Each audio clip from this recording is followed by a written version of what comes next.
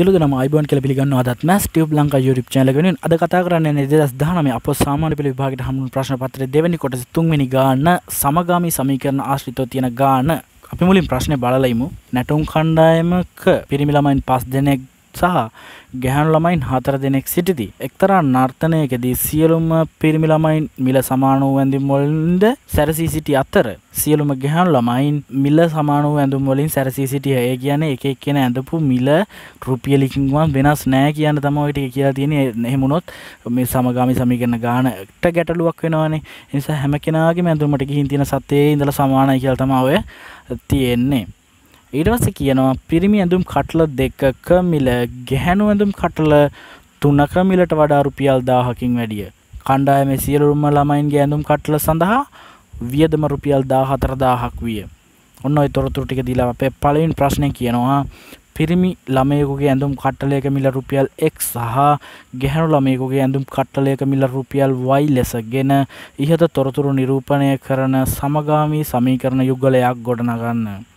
රොමිලකන් දෙක කියනවා එම සමගම සමීකරණ විසඳීමෙන් පිරිමි ළමයෙකුගේ ඇඳුම් කට්ටලයක මිලත් ගැහැණු ළමයෙකුගේ ඇඳුම් කට්ටලයක මිලත් වෙන වෙනම සොයන්න කියලා කියනවා. ඉතින් පිරිමි ළමයෙකුගේ ඇඳුම් කට්ටලයක මිල x කියලා කියනවා. ගැහැණු ළමයෙකුගේ ඇඳුම් කට්ටලයක මිල y කියලා කියනවා. ඊට අමතරව අපිට තොරතුරක් දෙනවා. පිරිමි ළමුන් ඇඳුම් කට්ටල දෙකක මිල ඒ කියන්නේ 2x සමාන වෙනවලු ගැහැණු ළමුයින් ඇඳුම් කට්ටල තුනක මිලට වඩා දාහකටත් වැඩිය. ඒ කියන්නේ ගැහැණු ළමයි ඇඳුම් කට්ටල තුනකුත් අරන් තව 1000කුත් දාපුවම තුනක මිලට තව 1000කුත් දාපුවම තමා පිරිමි ළමයි ඇඳුම් කට්ටල දෙකක මිලට සමාන වෙන්නේ. ඒ අනුව මට සමීකරණය ලියාගත්ත හැකි 2x ඒ කියන්නේ පිරිමි ළමයින් ඇඳුම් කට්ටල දෙකක මිල සමාන වෙනවා 3y ධන 1000 කියන එකට. ඉතින් ඔන්න ඔය සමීකරණයේ තුනයි වයි කියන එක සම්මාන කිරීමෙන් වයි වම් පැත්තට ගෙනාපුහාම අපිට ලැබෙනවා දෙකයික් ශ්‍රණ තුනයි වයි සමානයි දාහයි කියලා. අන්න ඒක අපි සම්මීකරණ අංක එක කියලා නම් කරගන්නවා. ඊරස අපිට තව දත්තයක් දෙනවා. පිරිමි ළමයි පස් දෙනෙක් සහ ගෑන් ළමයි හතර දෙනෙක් ඉන්නවා. ඉතින් මේ සියලු දෙනාටම ඇඳුම් ගන්න ඕනනේ. ඒ නිසා පිරිමි ළමයි පස් දෙනාට පහයි එක් යනවා. ඒ කියන්නේ එක්ස්වාගේ මුදල එක් මුදල ගානේ පහක්. 5x ධන 4y ගහලා මේ හතර දෙනාට ඇඳුම් ගන්නවා සමානයි 14000යි කියලා අපිට එනවා. අපි මේ සමීකරණය දෙවෙනි සමීකරණය විදිහට නම් කරගන්නවා. ඔයාලට හොඳට තේරෙන්නේ නැති කියලා මම හිතනවා. ඊට පස්සේ අපිට පුළුවන් මෙන්න මේක විසඳන්න. හැබැයි ප්‍රශ්නකට තියෙන්නේ එකකවත් සංගුණක සමාන නැහැ. y වල සංගුණක සමානත් නැහැ. x වල සංගුණක සමානත් නැහැ. ඉතින් අපි දන්නවා ඒ වගේ සමීකරණයක් කොහොමද විසඳන්නේ. ඒ නිසා අපි කරන්න ඕන මොකක්ද y වල හෝ x වල සංගුණක සමාන කරගන්න ඕන. ඉතින් මම මෙතනදී y වල සංගුණක සමාන කරන්න තීරණය කරා. y වල දැනටත් තියෙන්නේ 3යි සහ 4යි. එතකොට 3 සහ 4 කුඩා පොදු ගුණාකාරය මොකද්ද 12. 12 එන විදිහට y ගේ සංගුණකයේ විදිහට ඒ කියන්නේ y ට ඉස්සරහින් තියෙන අංකේ 12 වෙන විදිහට අපි මේ සමීකරණ දෙක ගුණ කරමු. ඉතින් පළවෙනි සමීකරණයේ y ට ඉස්සරහින් තියෙන 3 3 12 වෙන්න නම් 4ෙන් ගුණ කරන්න ඕන. තේරුණාද? ඒ නිසා අපි පළවෙනි සමීකරණය 4ෙන් ගුණ කරනවා. එතකොට එනවා 8x ඍණ 12y සමානයි 4000යි කියලා. ඊට පස්සේ තියෙන්නේ 5x ධන 4 සමානයි 14000 5x ධන 4යි y සමානයි 14000 අන්න ඒකේ 4 12 වෙන නම් අපි කීයෙන්ද ගුණ කරන්න ඕන 3ෙන් ගුණ කරන්න ඕන. ඒ නිසා මම දෙවෙනි සමීකරණය 3ෙන් ගුණ කරනවා. එතකොට මට එනවා 15x ධන 12y සමානයි 42000යි කියලා එනවා. 14000 වා 3ක් 42000යි. හරි. දැන් මෙන්න මේකේ y වල සංගුණක සමාන වෙලා. ඒ කියන්නේ 12. දෙකේම තියෙනවා 12. 4 සහ 3 සහ 4 කියන සමීකරණවල. එතකොට ඒකේ ලකුණ මොකද්ද? එකක ඍණ එකක ධන. එකක ඍණ නම් එකක ධන නම් අපි අනිවාර්යෙන් මේ සමීකරණ දෙක එකතු කරන්න ඕන. එතකොට එකතු කරනකොට මම මෙහෙම ලියනවා. 8x ඍණ 12y 15x ධන 12y සමානයි 46000යි. ඒ කියන්නේ 42000යි 4000යි එකතු වෙලා තමා 46000ක් උනේ. දැන් මෙතනදී අපි සමීකරණ දෙක එකතු කරුවානේ. එකතු කරපු නිසා දැන් මම උතන වරහනක් දාලා තියෙනවා මේ දෙවෙනි සමීකරණයට. හැබැයි ඒ වරහන අත්‍යවශ්‍යම නැහැ. ඒක නැති වුණා කියලා ප්‍රශ්නයක් නැහැ. හැබැයි මේ සමීකරණ දෙක විසඳනකොට ඔයාලා දන්නවා අඩු කරලා විසඳන සමීකරණක් තියෙනවා. ඒ කියන්නේ 12 y වල සංගුණකවල ලකුණ සමාන වුණා නම් දෙකම ධන වුණා නම් එහෙම නැත්නම් දෙකම ඍණ වුණා නම් අපි සමීකරණ දෙක අඩු කරලා තමයි විසඳන්නේ. එතකොට මේ සමීකරණ දෙක අඩු කරනවා කියන ඍණ දැම්මේ නැත්නම් ඒ ඍණ දාලා වරහන් දැම්මේ නැත්නම් සම්පූර්ණයෙන්ම ගාන ලකුණු මාරු වෙලා ඒගැන ලකුණු ගැන දනරෙන කියෙන ලකුණු මාරු වෙලා වර්දින්ට තියෙන ඉඩ කඩ වැඩි. ට හොඳර එක තේරෙ නැති. දනනං දැම්ම නැතිවුණට ප්‍රශ්නයක් නෑවරහන හැබැරිනං අනිවාර්යම දාන්න ඕනා. නැත්තන් ලකුණු පැටලෙනවා. හරි. එතකොට දැන් මෙතනති ධනෙන් ගුණ වෙනවා කියල තැනති කියන්නේ. මේ ධනෙන් ගුණුණහම ඇතුළ තියෙනවගේ දන රින මාරු වෙන්නේ නෑ හැබැ රිනෙන්න්නම් ගුණ වුණේ. රින අඩු කිරීමන්න තිබ්බේ. ඒ රිනෙන් ඒ වරහ ඇතුළ තියෙන පද දෙක ගුණ කරන්න ඕන. එතකොට දනරින එකට තියෙන ලකුණු මාරු වෙනවා. දැන් මෙතනදී එහෙම මාරුවක් වෙන්නේ නැති නිසා ඔයාලට පුළුවන් තියෙන එකමයි තියෙන කියලා හිතාගෙන එතකොට බලන්න ඍණ 12යි y සහ ධන 12යි y කියලා ඒ ප්‍රකාශනයේ තියෙනවා සමාන කිරීමට වම් පැත්තේ. අන්න ඒ දෙක කැපිලා යනවා. මොකද එකක් ඍණ අනික ධන වටිනාකම සමාන නිසා. ඒ දෙක කැපිලා ගියාට පස්සේ ඊළඟට තියෙන්නේ 8යි x සහ 15යි x. එතකොට දෙකම x නිසා එකතු වෙනවා සහ ලකුණක් ධන නිසා එකතු වෙනවා. එතකොට ඔක්කොම 23යි x වෙනවා. එහා පැත්තේ 46000 එහෙම්මම තියෙනවා. ඉතින් මේ වගේ අවස්ථාවකදී අපිට පුළුවන් දෙපැත්තම 23න් බෙදලා දාන්න. එතකොට x තනි වෙනවා. මොකද දෙපැත්තම 23න් බෙදපු ගමන් x ට යටිනුත් ලියනවා 23ක්. 46000ට යටිනුත් ලියනවා 23ක්. එතකොට x ට යටින් ලියපු 23ට x ගාව තියෙන 23 කැපිලා යනවා. 46000 23න් බෙදනවා උත්තරේ රුපියල් 2000යි කියලා එනවා. ඒ කියන්නේ x සමානයි 2000යි. පිරිමි ළමයෙකුගේ ඇඳුම් කට්ටලයක මිල රුපියල් 2000ක් කියලා ඔය ආකාරයට එනවා.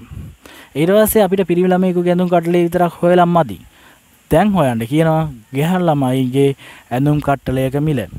එහෙනම් අපි දැන් x ට හොයාගත්තු උත්තරය ඔය 1 2 3 4 කියලා හොයාගත්තු ඕනෑම සමීකරණයකට ආදේශ කරන්න පුළුවන්.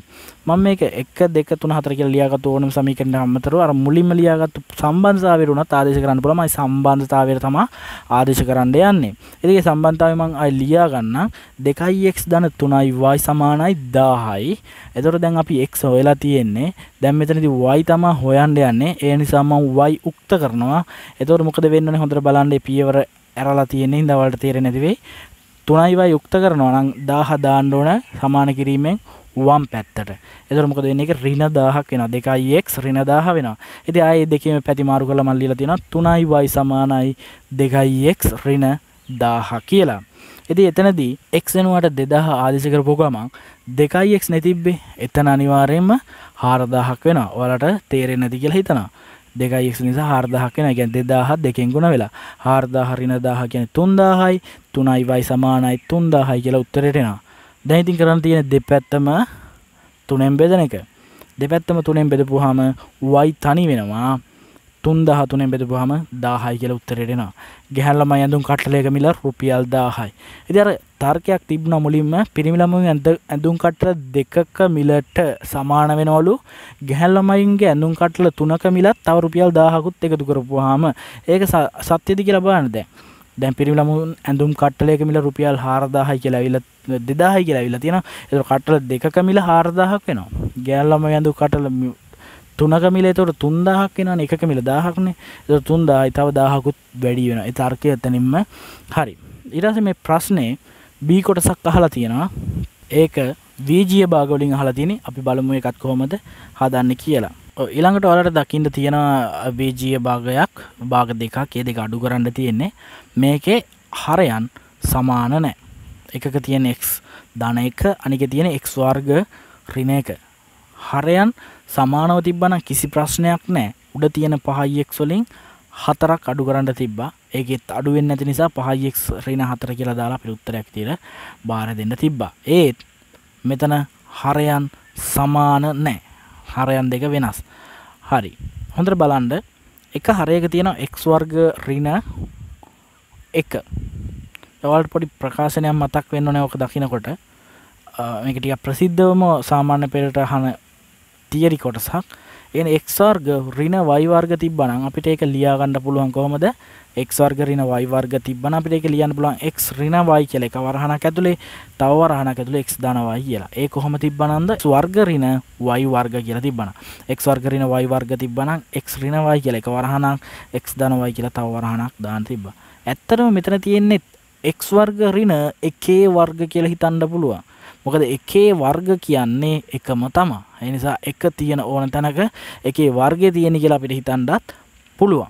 එහෙනම් අර ප්‍රසාරණයට අනුව මට මේක ලියන්න පුළුවන් 5x යට x ඍණ 1යි x ධන 1යි කියලා ලියන්න පුළුවන්.